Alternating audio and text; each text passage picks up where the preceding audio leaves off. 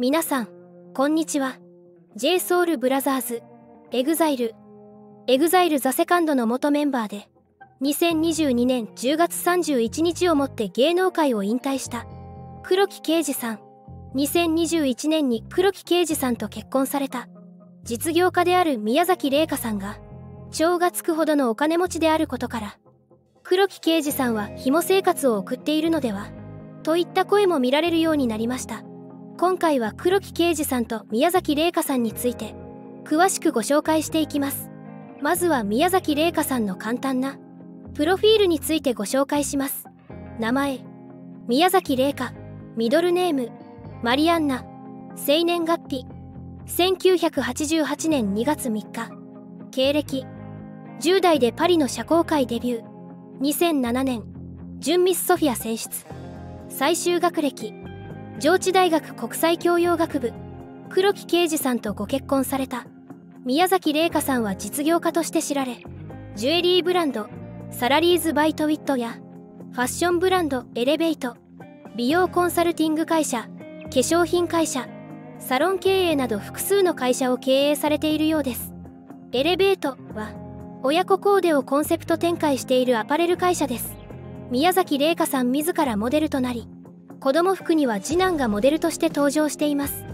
エレベートは廃棄ロスを抑えるため受注生産販売のビジネス形態やリサイクル素材の梱包での環境に配慮や利益の一部を東京済生会中央病院の乳児院に寄付など環境と社会への取り組みなどを行っています。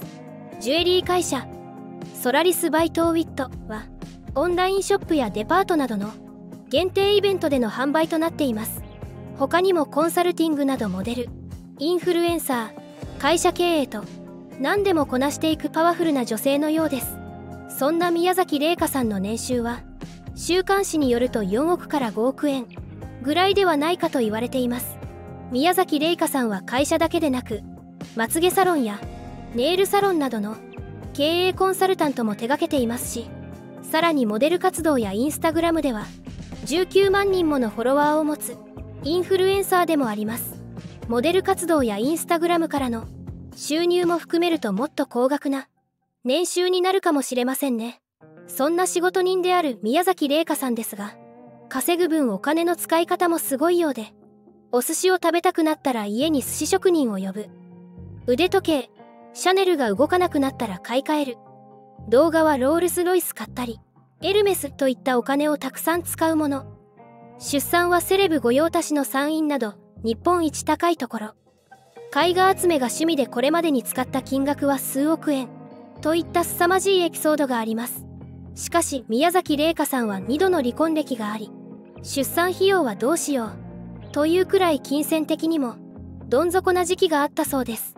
宮崎玲香さんは当時のことを悩む暇もないほど生きるのに必死だった。と振り返っておりそこでの選択が人生を変えたそうでその言葉が宮崎玲香さんの強さを物語っていました。落ちるとこまで落ちたから絶対這い上がってやる。生きることに必死な時にこんなことを思える心の強さがあるって本当に尊敬しますし見習いたいと思いますね。そんな強い女性である宮崎玲香さんですが宮崎玲香さんを育てた父親は一体どんな方なのでしょうか？宮崎玲香さんの父親は白真くんさんという方です。白真くんさんは日本の政治家で立憲民主党所属の元参議院議員です。また元朝鮮日報日本支社長でした。1999年頃に朝鮮日報の日本語によるウェブ版を立ち上げています。これが人気を博しテレビ局などからの取材が増え情報プレゼンター徳田ねなどでコメンテーターを務めていました。その後は政治家として活動しています。宮崎玲香さんは父親がまずセレブでその上で自らでも稼いでいますが結婚された黒木啓司さんは結婚後芸能界を引退されましたので無職で宮崎玲香さんの紐なのではといった噂が流れるようになりました。この黒木啓司紐説については本人が語っています。宮崎玲香さんはインスタグラムのストーリーズでフォロワーからの様々な質問に回答していました。その中には「刑事さんは紐ですか?」と驚きの質問が寄せられこれに宮崎玲香さんはんなわけないでしょ失礼だし怒られるよ。と猛反論しています。どんだけ今まで仕事してきてて今もしてると思うの？と続けました。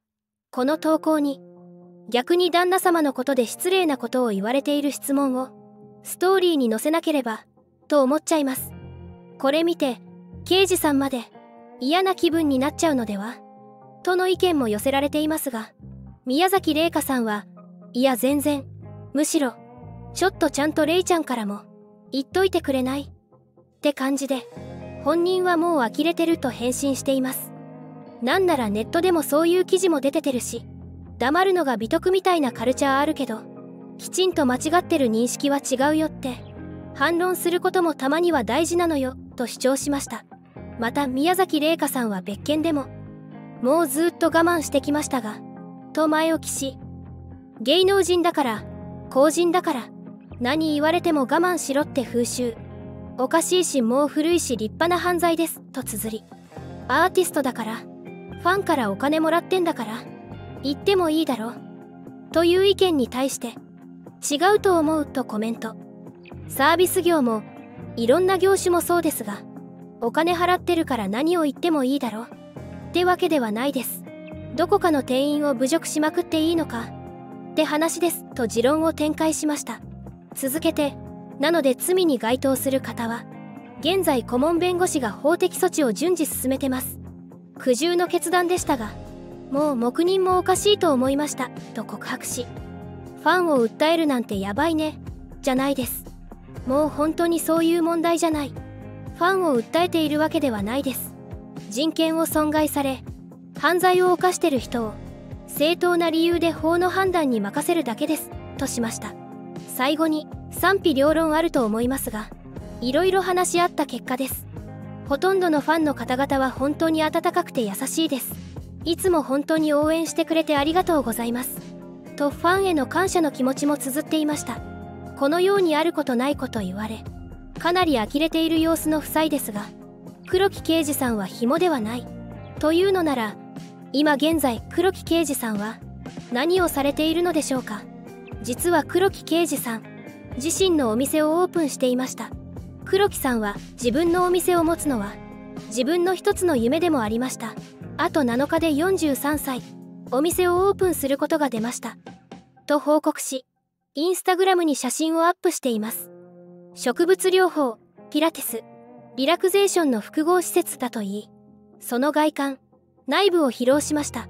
開業にあたりもちろんどんなお店でも良かったわけではありません。多くの方々に喜んでいただけるだけでなく自分も必要だった癒し整え新しい一歩を踏み出せるきっかけを手助けできるようなそんなお店を目指しました。と強い思いを告白。実は数ヶ月にわたり勉強と準備をしていましたとオープンまでの道のりを振り返り最後にはこんな時代だからこそ体と心のケアを一緒にしていきましょう。皆様よろしくお願いしますと伝えました。芸能界を引退された後は宮崎玲香さんの紐をやっていたわけではなく自身のお店をオープンするために勉強と準備をしていたようですね。いかがでしたか？今回は黒木啓司さんと宮崎玲香さんについてご紹介しました。新しいお店オープンしたようですしこれからも温かく見守っていきましょう。最後までご視聴いただきありがとうございました。コメントを残してくれると嬉しいです。チャンネル登録高評価もぜひお願いいたします。それではまた。